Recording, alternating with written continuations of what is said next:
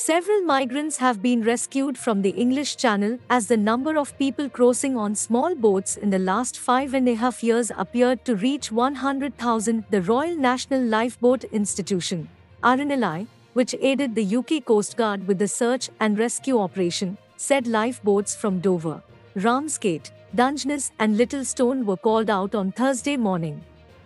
The Home Office confirmed 17 individuals were rescued from the water who had gone overboard and said they were all recovered safely and have been taken ashore for routine health and safety checks. Shadow Home Secretary Yvette Cooper thanked the RNLI on Twitter for today's vital rescue operation to save lives, adding, Appalling that criminal smuggler gangs are getting away with profiting from putting lives at risk.